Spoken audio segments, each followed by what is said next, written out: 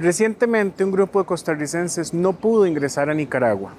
Hemos confirmado con las autoridades nicaragüenses que la no autorización se dio dada la suspensión de la actividad en la que nuestros compatriotas iban a participar en el hermano país de Nicaragua.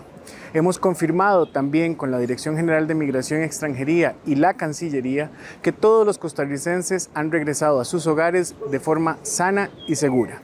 Agradecemos el esfuerzo de todos nuestros colegas en las otras instituciones para poder validar esta información. Muy buenas tardes. La legislación del país cambia dinámicamente y con ella las empresas deben adaptarse para su cumplimiento de forma constante.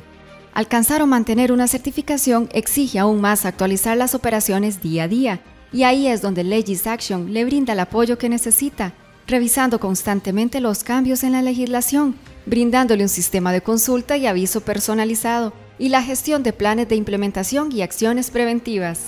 Legis Action, los especialistas en sostenibilidad empresarial.